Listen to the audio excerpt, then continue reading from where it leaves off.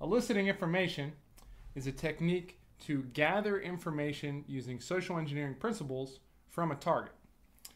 This technique is used with a variety of different methods. Some of the methods we've talked about already, like authority, intimidation, urgency, those can be used when eliciting information. Oftentimes, the attacker will try and elicit information by uh, talking about techniques, talking about different areas of a conversation that don't directly relate to what the attacker is trying to get to. So some of these techniques include false statements. An attacker might make a false statement saying that you know this is true. Uh, you know the Earth is clearly flat, and then the person on the other end would try and correct them in some manner to put forth their viewpoint, saying you know why the attacker is incorrect in their statement. So this could work if uh, you're dealing with an expert or you're dealing with somebody who knows a lot about their topic and wants to always prove that opportunity or show or demonstrate their knowledge. You purposely make false statements. It doesn't have to be as blatant as a, a large false statement like that. It could be something uh, smaller, like saying like a RAID 10 uh, only provides parity, and then the other person would explain, oh, well, actually, RAID 10 provides uh, parity and striping and mirroring, or something along those lines. I mean, that's a technique that you can use. You also have bracketing. Bracketing is a, a way to gain specific information using statements that are specifically crafted for that topic. So you're going to be uh, you're thinking about these questions in advance. You're thinking about these statements, and you're specially crafting them to get information. So you're talking about, say, you want to get some classified information about a specific crypto system. So you would maybe state what the advantages are or the disadvantages are of certain cryptographic systems and have the person correct you or explain things of that nature. Reflective questioning is asking almost like a rhetorical, rhetorical question, a question that's going to get the target to talk. So you're you're basically encouraging a conversation. You're leading the person on. You're acting like you're very you're very interested uh, in this kind of.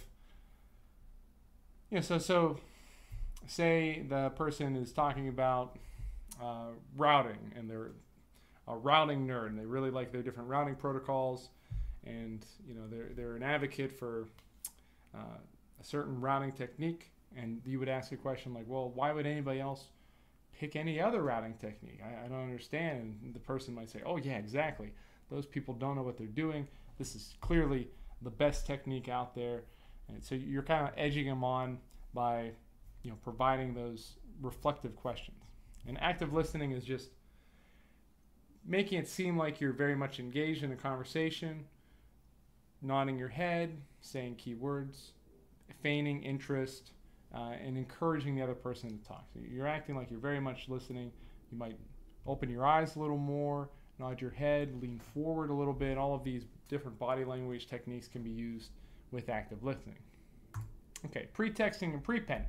These are two terms you're going to see on the Security Plus exam. Pretexting is a creating a fictitious scenario to make something more believable. So you're creating a story.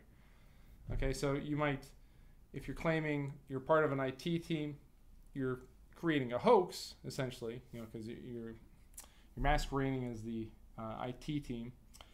Um, but you can make a pretext of saying, okay, there's a company-wide uh, policy update on endpoints, and we need to access your system to apply that update right away. So you, you might be pretexting is just creating a scenario. Now, I've touched on some other techniques in there. I've touched on urgency. We need to create this update right away. We're doing um, spoofing if you're trying to pretend or you're sending an email pretending to be the IT team. So there's all of these different social engineering techniques. You need to think about them working together. They're not going to be working in a vacuum.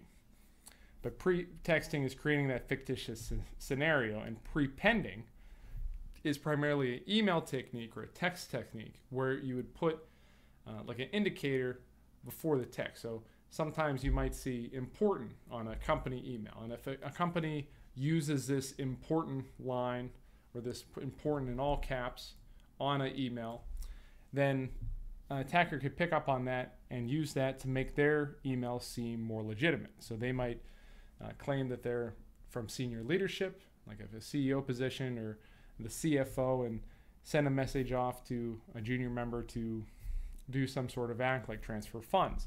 They might say important, or if you're uh, emailing from inside or uh, outside the organization, some organizations differentiate that with internal or external in brackets. So prepending is adding this little section here, this external, this safe, that important, to that email message or a text message. So, you know, if you normally see messages from Verizon Wireless or uh, T-Mobile, your mobile carrier will have uh, some sort of message or some sort of indicator in the text message saying it's from that the message is coming from that source. Okay, so it might say Verizon mobile message, right, in all caps. An attacker can spoof that message and send you a text message with that same uh, little blurb, Verizon mobile message, in all caps to make you seem make you think it's from Verizon, as another example. So it doesn't have to be with email.